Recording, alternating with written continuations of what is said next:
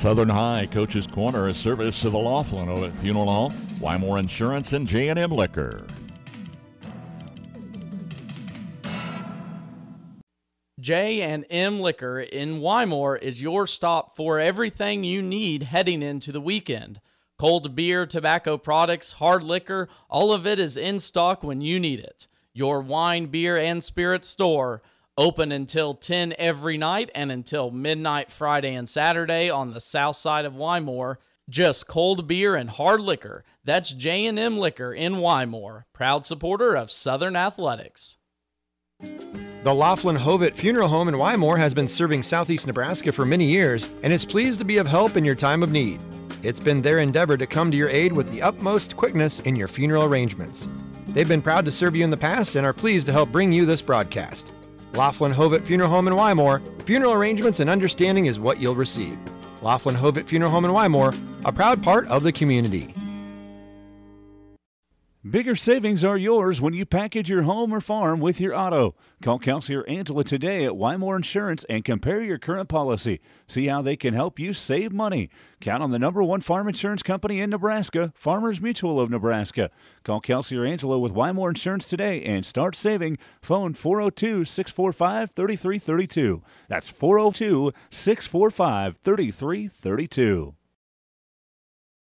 Joining me today on this edition of Coach's Corner is head coach of the Southern Raiders, Shane Sadoff. Coach, your boys had a great game Friday night. They came away with a win against Humboldt Table Rock.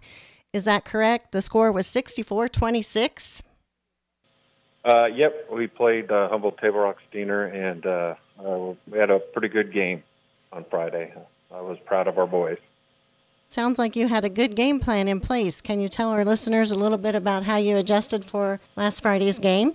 Well, it kind of started the the week before we played Diller Odell, and and towards the end of that game, we kind of found something a little on offense that got our offense sparked. We've been uh, offense had been kind of a little slow to start the year, and the kids just picked it up on Friday. And first series, we went down and scored, and and they just kept their their foot on the gas and and the offense was going good on Friday night and, and our defense had continued to play well like they had the previous two games. It's always good to see momentum like that stay true. Yes, yes it is. Can you tell us who is your opponent for this coming week and what adjustments are you going to make in order to meet that match? We play Johnson County Central this week. On film, they they uh, have a have a good running game and, and and has some explosive uh, pass plays. So um, we're going to go in there and, and work hard this week in practice and try and clean up some of the stuff that we still need to, to work on and, and go in there and try and shut some of those plays down and, and continue the success we've had the last couple weeks. And, Coach, can you tell us, did you come out of Friday's game healthy? Uh, yeah, uh, knock on wood, but we've uh, so far been pretty healthy this year. Um, just a few little bumps and, and bruises, but nothing where any of our players have had to miss any significant time. Well, that's good news. Coach, we wish you the best of luck for your upcoming game on Friday, and we thank you for joining us today on Coach's Corner. All right, thank you.